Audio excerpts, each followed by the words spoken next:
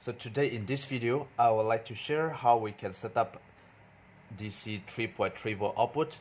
Because some of the components and some of the sensor and module will require to have 3.3 volt especially here for example I'm having ESP 8266 that's 01 this is a Wi-Fi module and this will only work on 3.3 volt so if you supply 5 to this module uh, for example directly if you supply from Arduino then the module will be burned out. So in this case you need to have a 3.3 volt DC regulator. So this is a very convenient I have here is LM1117 that's 3.3V if you look at to the body part number here they will be they will be written LM1117 T that's 3.3V so mean that this IC is the 3.3 volt output. This IC how it work? And the first thing we have to know is this is the IC regulator and the minimum voltage and the maximum voltage input so the input voltage could be between 4.5 to 12 volt DC and the output is 3.3 volt fixed because they already written here 3.3 V and the current rating is 1 ampere. So once you place in this position and the first pin is positive in and the second pin is the positive out and the third pin is negative in and negative out. So this is very simple. So I have a one breadboard.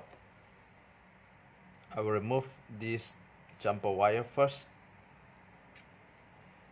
So the breadboard connection is this is the connection line and this is the connection line. So since the input is between 4.5 to 12 volt, you can use either it's 9 volt or you can use 12 volt power supply or 12 volt battery as long as the range is between this voltage. So I'm going to place testing on this breadboard. So this is tripping. I will place right here, right here on the breadboard. I'm going to use 12 volt power supply right here. Okay, this is my 12 volt power supply and 12 volt negative 12 volt positive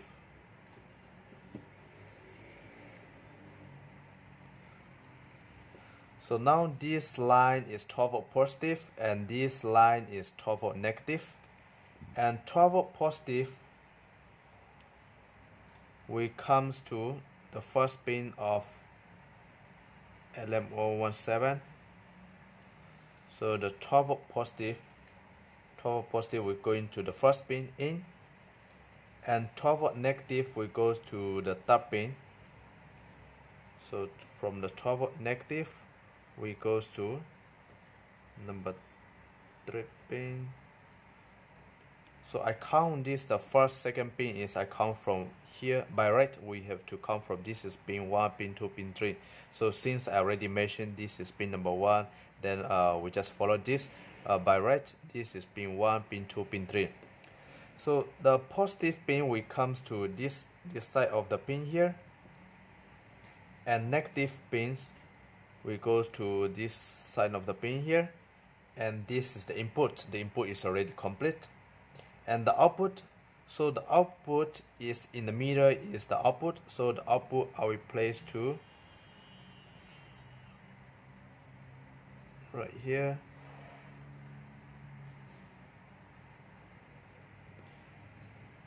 And this side of the breadboard positive is the output. And this pin will be output negative. So we're going to place uh, positive and negative. Just a jumper so that we can test. And let me turn on my power supply. So this is 12 volt power supply. Let me check with my multimeter. The first I'm going to check the the input voltage. So this line is the input. The input voltage this is negative and this is positive. So let's check. So here we have 12 volt input. And how about output? So let me check the output. So this is negative and this is positive. So I get 3.278 voltage uh, D which is considered 3.3 volt so to be smooth we can add one capacitor either is 10 UF or 22 UF or 100 UF 25 volt.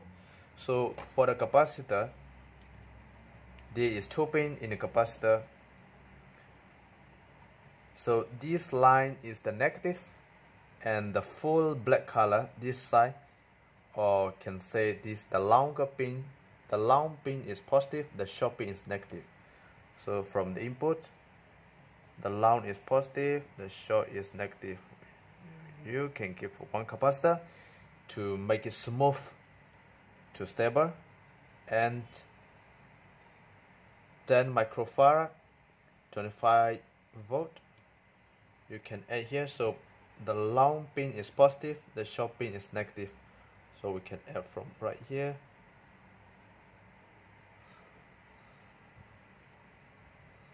so we can check the voltage again. The voltage will be the same uh, means that this we adding capacitor is to make it smooth to make it stable output so 3.27a this is the output. We get 12 volt this is input. So from here is the input so not only 12 volt we can use and if you don't have 12 volt power supply you can use 9 volt power supply as well. So 9 volt power supply. If I use 9 volt this is positive here and this going to be negative also.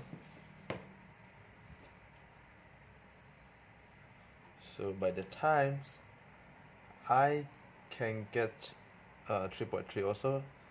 So this is input is now 8.43 volt because my battery is already a little bit low.